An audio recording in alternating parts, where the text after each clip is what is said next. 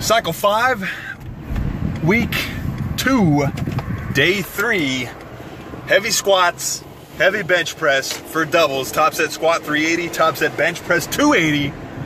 I'm gonna pound my pre-workout that is riding in my crotch, and then I'm gonna post this workout footage. Stay tuned, hoping for some big numbers tonight. My back's still a little sore from those rack pulls. It was insane.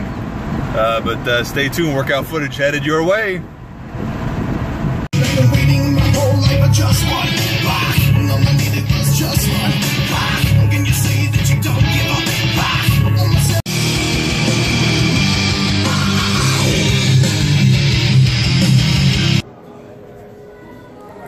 All right, guys. Instead of uh, doing the usual music, I thought I would do a little bit of uh, commentary.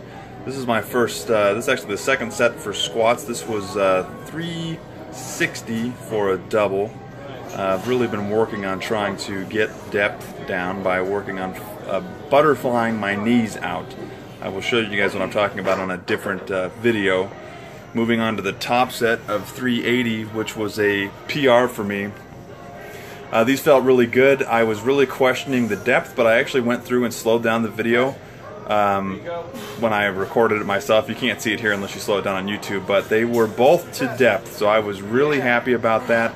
I still think I need to work on getting my knees a little bit wider to achieve some depth, and I have something coming that should be helping me achieve that here next week. Uh, and now moving on to competition bench, I did record all three working sets. This is 255 for a double, uh, and that is my spotter and training partner in the background there. That's uh, Bone Merrill. Um, excellent lift-off partner, uh, except for when I fucked up on the last uh, set here of bench press. Moving on, that was 255 previously. This is now 270 pounds. Uh, got a little stuck on the second rep. I was trying to work on making sure that my the bar touched a little bit lower on my chest. I don't think I was going quite low enough.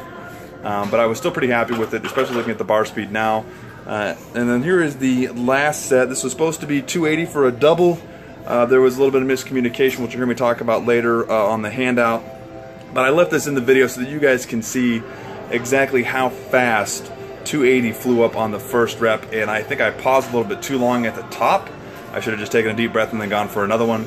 Uh, and I was really trying to work on leg drive, but I had some issues um, just because squats were freaking had exhausted me. My back was still sore from rack pulls. But uh, there you go. Can't always get your sets, and that happens. Post workout in the car, as usual, heading back home.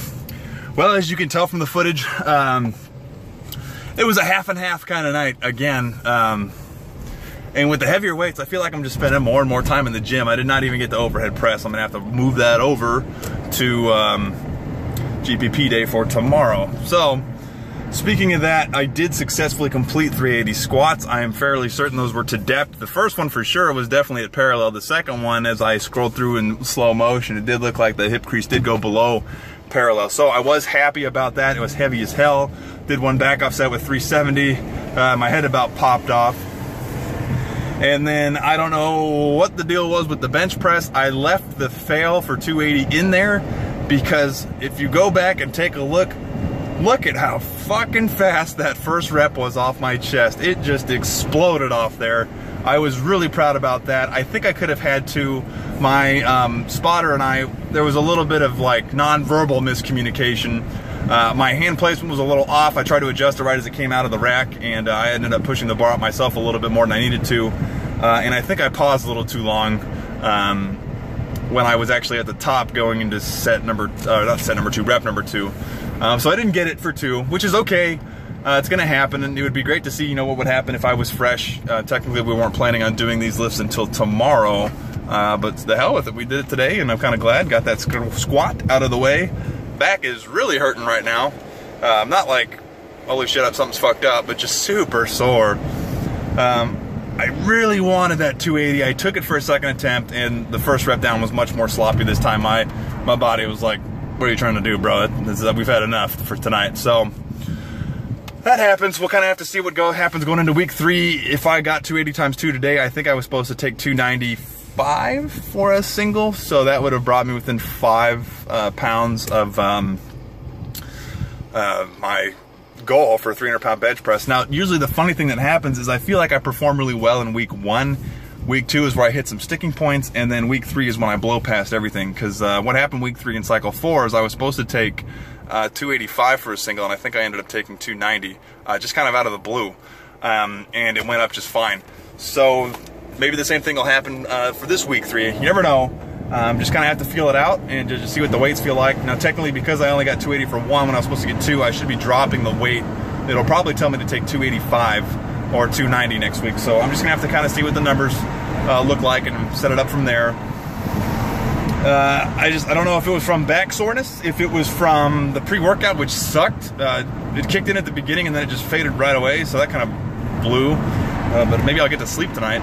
Um, my legs were gone after squats. A lot of my leg drive I think was robbed from that, and uh, just I was just exhausted. I think I still had a lot of fatigue from rack pulls. Not trying to make any excuses, but it would have been interesting to see what it would have been like going in fresh. Speaking of going in fresh, should be doing that on Saturday for the deadlift. Uh, and if I still feel like my back is a little sore, I might push that into Sunday. So we will see what happens. Stay tuned for more uh, workout footage. Uh, this is DJ from TooTallPowerlifting.com. Uh, telling everybody to have a good night.